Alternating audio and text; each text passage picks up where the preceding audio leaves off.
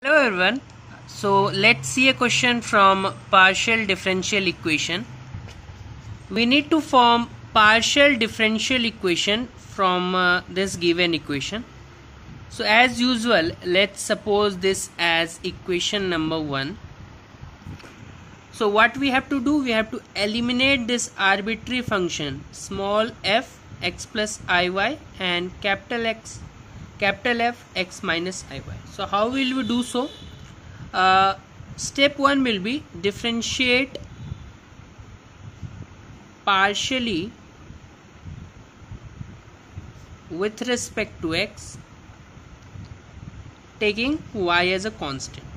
So if we do so, we'll get del z by del x equals to derivative of this function is f dash x plus iy and if we go inside since we are differentiating with respect to x so iy will be treated as constant and derivative of x will simply be 1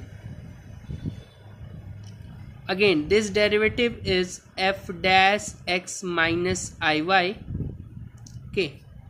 And uh, iy minus iy again derivative will be 0 and derivative of x is 1 so if we simplify this this del z by del x we write as p. So p is f dash x plus iy plus f dash x minus iy so this becomes your equation number 2 now again differentiating partially with respect to y taking x as constant so we'll get del z by del y will be first derivative function so f dash x plus iy now this time x is a constant so its derivative is 0 derivative of iy will simply be i because derivative of y with respect to y is 1 so i will be left and from here we'll get f dash x minus iy and uh, derivative of minus iy will get minus iota. So this is it. Now what we can do is uh, this uh, might become our equation number 3 okay? Or do one thing because this is notation wise q. So q is f dash x plus iy into iota plus f dash x minus iy into minus iota. Now let this as equation number 3 now you might be thinking that why can't we eliminate equation 2 uh, why can't we eliminate the arbitrary function with the help of equation 2 and 3 for that you have to take this iota this side. But then also if you see this will become minus f dash x minus iy so this will become cancel obviously. But this will not be eliminated because uh, this will be added. Okay. So that is uh, the problem. So uh, what we are going to do is uh, we are differentiating this equation number 2 and equation number 3 once more so if we do so uh, this uh, if you differentiate so this will be uh, del p by del x.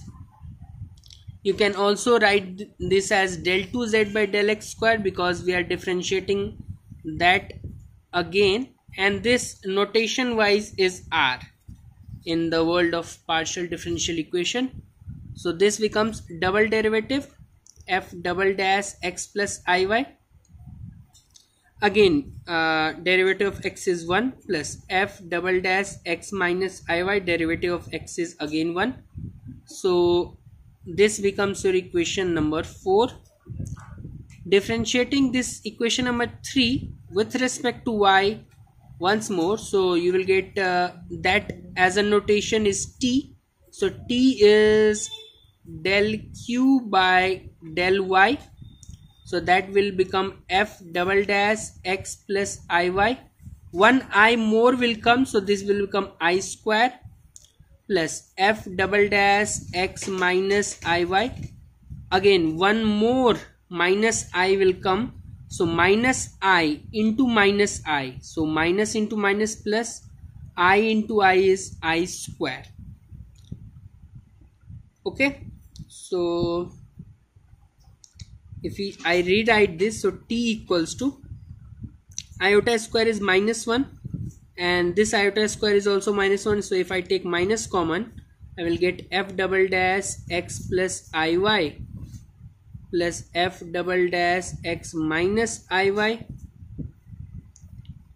this if you see carefully this is nothing but your equation number 4 only. Okay uh, which is nothing but r. So t equals to minus r simply. Okay or r plus t equals to 0 so this can be your final answer if you want to write it in this form. Uh, one thing you have to take uh, in mind that your p is del z by del x your q is del z by del y your r is del 2z by del x square. Your t is del 2z by del y square. And your s is del 2z by del x del y. So you have to take these notations in mind. And otherwise it was a simple question.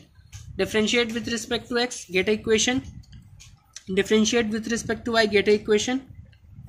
Since we were not able to eliminate we differentiated both the equation once again this was equation number 4 we didn't need equation number 5 I just put this portion from equation number 4 and I got to uh, the solution. So there was no need to write equation number 5 just uh, my final answer is r plus t equals to 0 so again it was a simple question.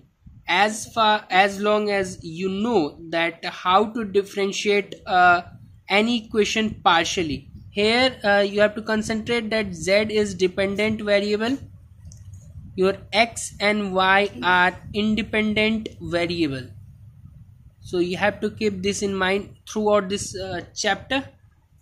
And uh, partial differentiation is uh, very easy. Iota is your under root minus 1 so iota square becomes minus 1 so this uh, small steps uh, i think you will keep in mind and this notation will be used throughout this chapter. So this is also important. Thanks and have a nice day